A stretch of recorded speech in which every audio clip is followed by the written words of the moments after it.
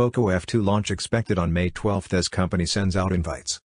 POCO is expected to launch the follow-up to its POCO F1 smartphone that came out in 2018, this year.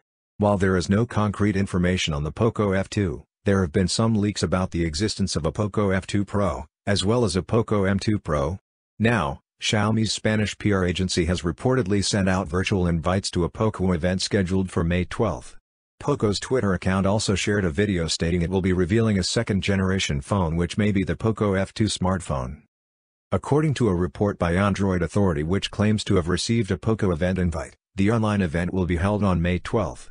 The time for the event has not been shared and there is no information on where the event will be streamed either.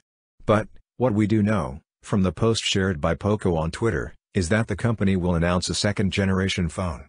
While the 46-second video that accompanied the tweet does not reveal anything about the event, it is expected that POCO F2 series will be unveiled.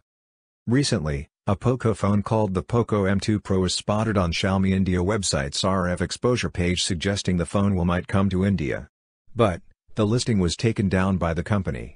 Therefore, it is unclear which series of phones POCO will be announcing at the event on May 12, whether the POCO F2 or POCO M2 series.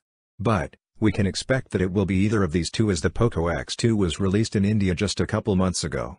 Notably, it could also be that POCO will announce the global launch for the POCO X2 but there is a very slight possibility of that happening.